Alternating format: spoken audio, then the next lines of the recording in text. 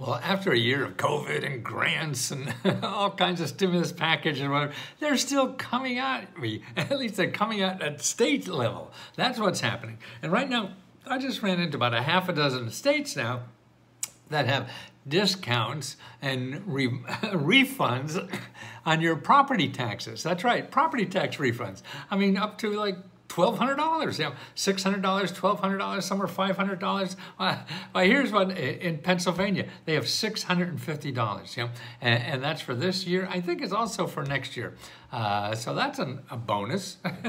They're giving you a refund. Here's one. The Minnesota has a property tax refund. And this is $250, well, actually $520 for a property tax refund. Now this is cash in your pocket. You know, this is a stimulus check that you don't know. Here's another one here. You know, they have more money here. And they're giving actually property tax refunds up to $2,500. Wow. Want to move to Montana, maybe. Pennsylvania, that's another, uh, what was that? I think uh, $520, right. In Pennsylvania, uh, let's see, what do we have? Vermont ha has uh, refunds. Uh, who else here has, oh, Montana, we talk, talked about that one. All, but, you know, there's another interesting thing, too. Oh, West Virginia has it. Uh, and Delaware has $1,250. All right, so you've got to check your state capital to see see about property taxes in there and if there's any kind of rebates or, or refunds that are given on property taxes.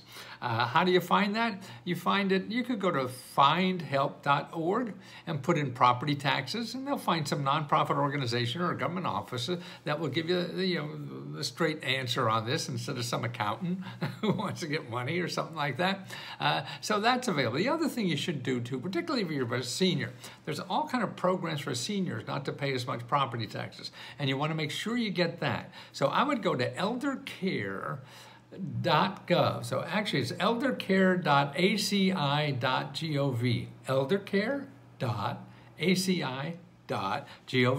Put in your zip code and call your local area office on AG. They're going to know all about that stuff for the old forts. So make sure you get theirs, okay? And the other place you can call, again, is 211.org and findhelp.org.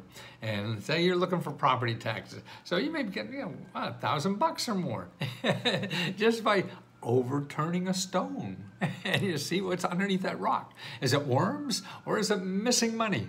Probably missing money, particularly if the government's involved. So don't forget. And speaking of missing money, uh, we just announced our, our winners for the uh, $60,000 grant.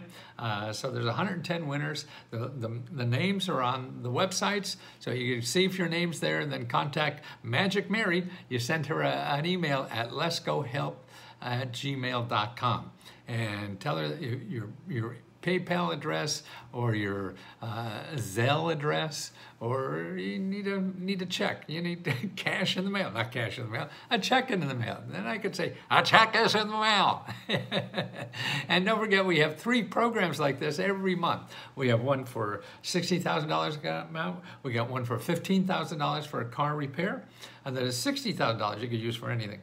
And then there's car repair, and then there's free laptops. We got twenty five free laptops because you need that. Uh, uh, to dig into this stuff and, and, be able to get a hold of it and fill out the applications and things like that. So uh, let us try to get you a free laptop. And that the deadline on that is the 30th. So we have the 4th of the month, the 20th of the month, and the 30th of the month. And that's not bad, is it?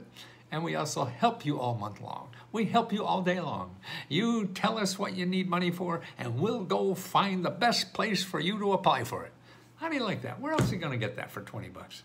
And you can ask us a hundred times a day, okay? so see you around.